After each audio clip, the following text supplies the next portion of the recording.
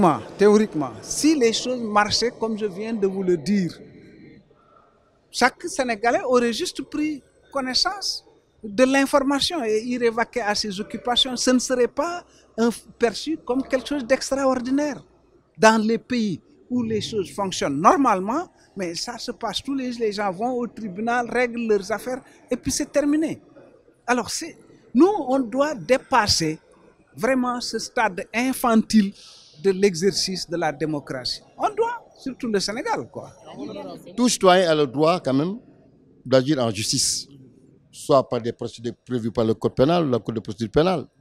La plainte par saisine du procureur, la plainte avec le conseil de partie civile, la station directe.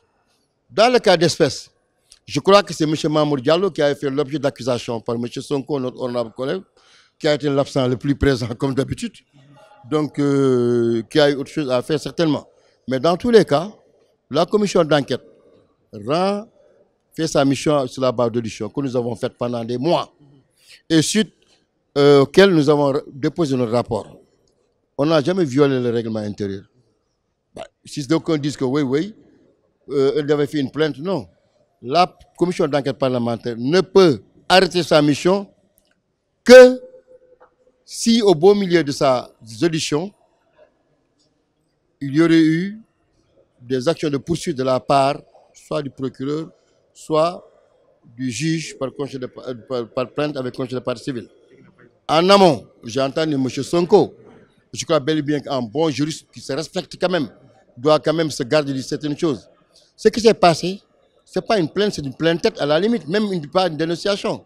Donc, si on veut maintenant, en amont, essayer de paralyser la commission d'enquête en se prévalant de l'article 9 du Code de procédure pénale qui dit que le procureur reçoit les plaintes, le procureur, mais il est libre de suite à leur accorder. Donc, ça, c'est notre point. Maintenant, il parle de plainte avec conseil de partie civile parce que, actuellement, il sait que la machine a été enclenchée, du moins, pas ce qui nous concerne. Alors, il sait bel et bien qu'au bout du compte, certainement que la personne qui a été vilipendée, Mamour Diallo, certainement que va au moins se faire droit au niveau de la justice. Donc, ce n'est pas une course contre la montre. Rien ne se crée, rien ne se perd, tout se trace. Donc, par rapport à ça, donc, il y a des courses, de, et puis le tribunal n'est pas un théâtre. Et je crois que le juge d'instruction, une fois que le rapport a été fait, bon, donc même disent en fait qu'elle a été abusée, mais peu importe, même s'il avait reçu, ça n'entend en rien la de cette commission d'enquête qui a fait son rapport, qu'il a déposé sur la table de monsieur le président. Et voilà, donc maintenant, le juge d'instruction, même s'il est saisi de cette plainte, mais le procureur, qu'il dit procureur de M. Macky Sall, mais lui, il est impliqué si vous regardez les articles 106, 107 et suivants. Le, le, doyen de juge d'instruction ne peut rien faire sans pour autant qu'il ait transmis par une ordonnance de soit au monsieur le procureur qui va juger encore l'opportunité et que la plainte de ceci ou cela. Parce que dans le cas de la plainte de M. Sonko même, ça me fait rire. Parce que vous savez bel et bien que la plainte pour détournement de ne lui appartient pas. Lui, le statut civil, ça appartient à l'agent judiciaire de l'État. J'ai beaucoup de respect pour notre justice et je crois qu'il le mérite bien. Ces hommes qui rendent la justice au nom du peuple du Sénégal, mais n'ont aucune leçon de dignité et de courage à recevoir de qui que ce soit. Il est connaissant, moi je suis dans la justice également. Donc, la justice va agir de la manière la plus sereine, la plus objective, pour que lumière soit faite de cette affaire. Le problème c'est, est-ce qu'il y a eu détournement de 94 milliards?